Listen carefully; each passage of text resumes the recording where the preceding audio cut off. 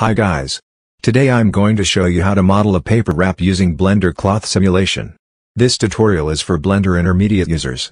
So if you are a beginner user, follow some basic tutorials before watching this. Let's get started.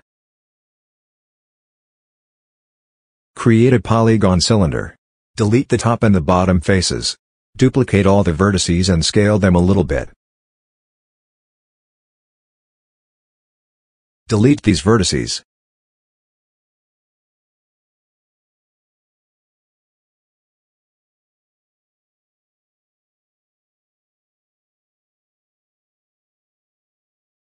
Merge the vertices.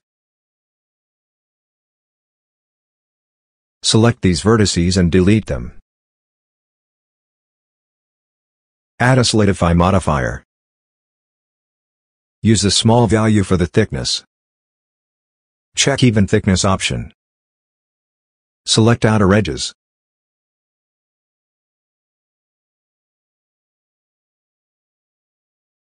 Go to the Item tab. Set mean crease value to 1. Add a subdivision modifier. Move the subdivision surface modifier at the top of the solidify modifier. Align the top vertices and the bottom vertices.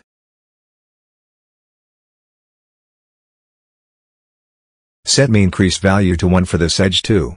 Select all the vertices and scale them along the z-axis. Add some edge loops to increase the geometry of the model, Add another polygon cylinder with 200 vertices. Scaled up the object a little bit. Select top and the bottom faces and inset them. Delete the faces. Select the bottom and the top edge loop. Apply bridge. Select all the vertices and scale them down along the z-axis.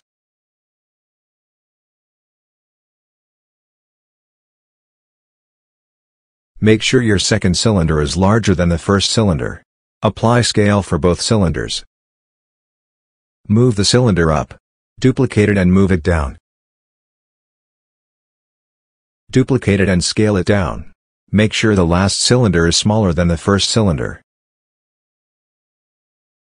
Select and delete the top faces. Select this edge loop and move it up. Select this edge loop and make a face.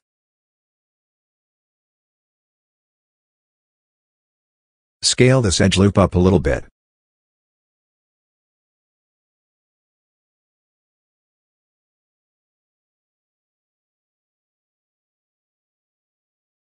Move this face along the z-axis.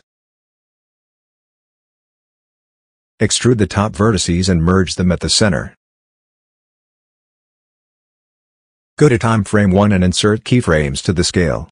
Go to frame 50 and set 0.3 for scale Y and scale X. Insert keyframes. Select the third cylinder.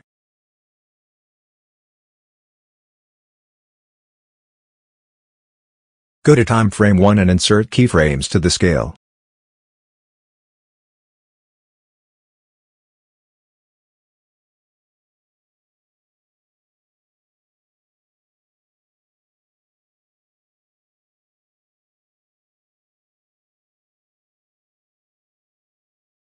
The third cylinder should be smaller than this edge loop.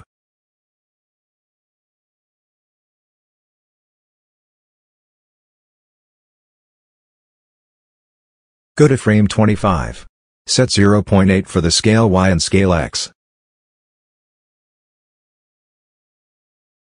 Insert keyframes. Insert keyframes to location as well.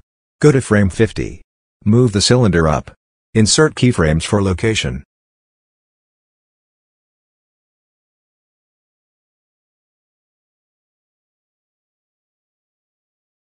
Add collisions for these objects. Increase the subdivision level value of the first cylinder. Select the first cylinder and add cloth. Choose rubber preset. Increase the quality steps. Under cache, set end value to 50. Under collisions, increase the quality value. Check the soft collisions. Set small values for distance under both object and self collisions. Set gravity to zero.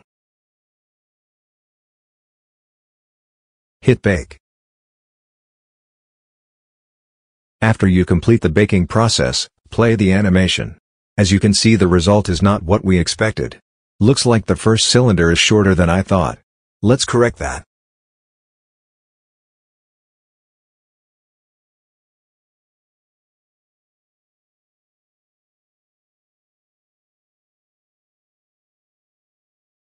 Delete the bake.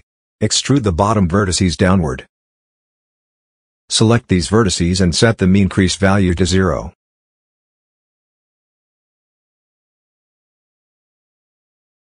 Select these vertices and set the mean crease value to 1.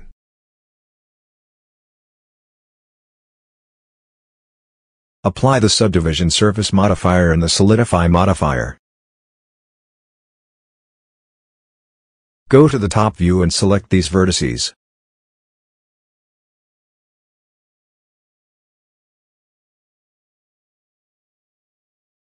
Apply bridge edge loops.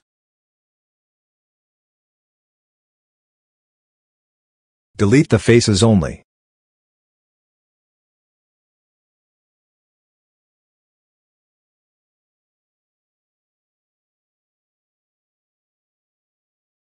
Go to the Shape section and check Sewing. Set 10 for max sewing force. Set 0.01 for the shrinking factor. Press Bake. Play the animation. I think this is good for me. If you are not satisfied with the result, play with the cloth settings. Try adjusting the keyframes and scale and location values of the collision objects. Hide these objects.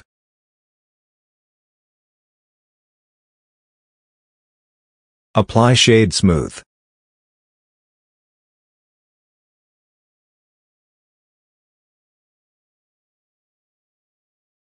Add a curve.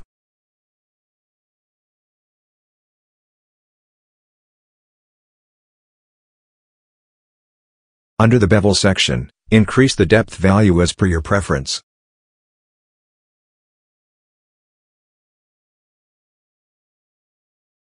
Create a thread by extruding the vertices.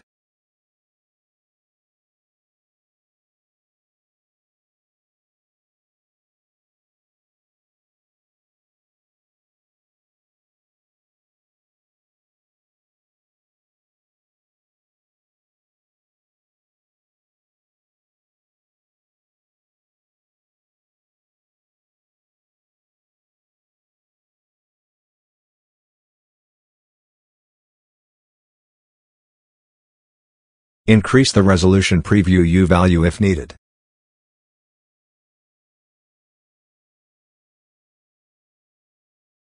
Convert the curve to a mesh.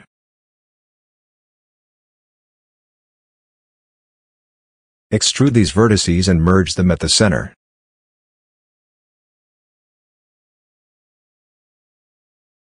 Turn on Auto Smooth and set 60 for the Auto Smooth value.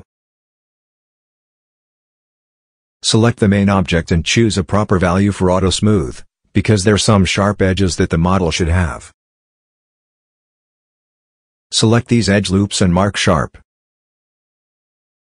Now we have finished the modeling part.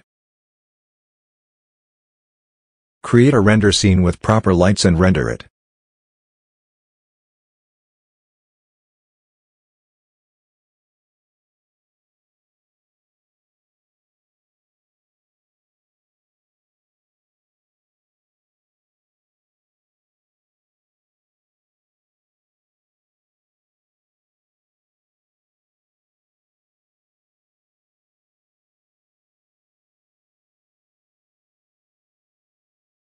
That's it for today. Thank you for watching. See you next time.